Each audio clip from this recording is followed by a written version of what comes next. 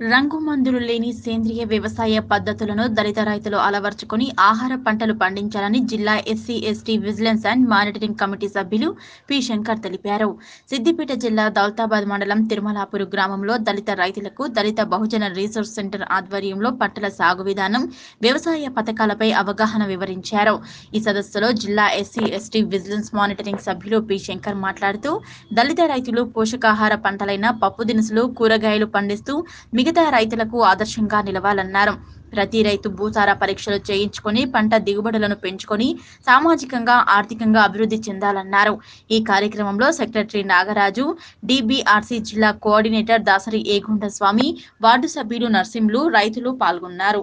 వర్షాకాలం ప్రారంభమై తొలకరి పలకరించినందున రైతులు ఇప్పటికే విత్తనాలు వేస్తున్న సందర్భం ఉంది కాబట్టి రైతులందరూ సేంద్రియ వ్యవసాయ పద్ధతులను పాటిస్తూ పురుగు మందు లేని వ్యవసాయం చేయాల్సిన అవసరం ఉంది. రెండోది మొత్తం తెలంగాణ రాష్ట్రంలో వరి పత్తిని ఎంత వీలైతే అంత తగ్గించి తిండి గింజల వైపు రైతులు మళ్ళాల్సిన అవసరం పప్పు దినుసులు కూరగాయలు పండించుకోవాల్సిన అవసరం ఉంది. పెట్టుబడి తక్కువ ఉండే దిగుబడి అధికంగా వచ్చే పంటలపైన రైతులు దృష్టి సారించాలని కోరుతున్నాను